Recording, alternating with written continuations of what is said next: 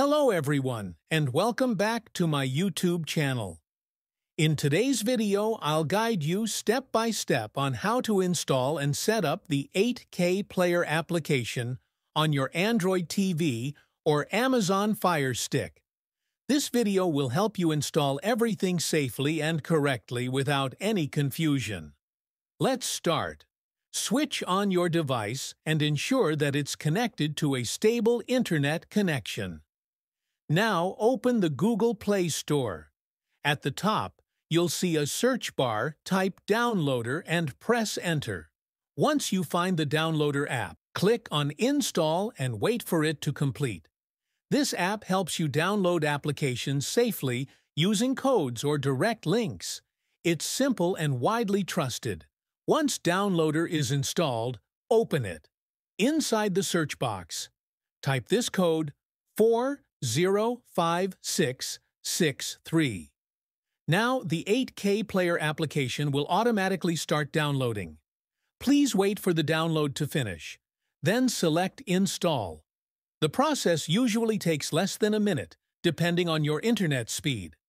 After the installation, open the 8K Player app.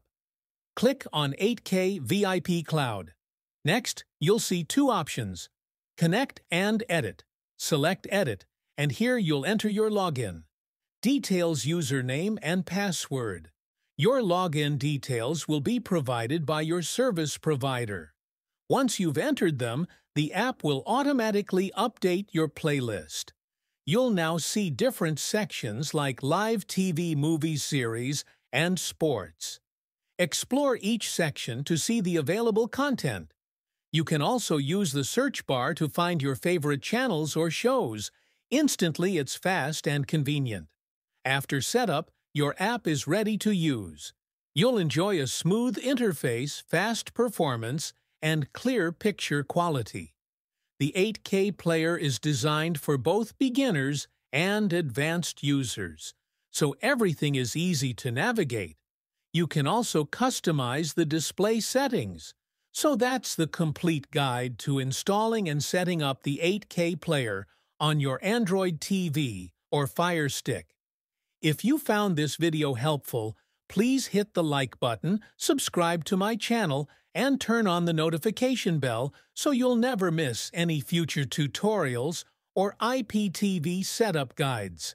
If you face any issue during installation, feel free to mention it in the comments section and I'll personally help you fix it. Thank you so much for watching.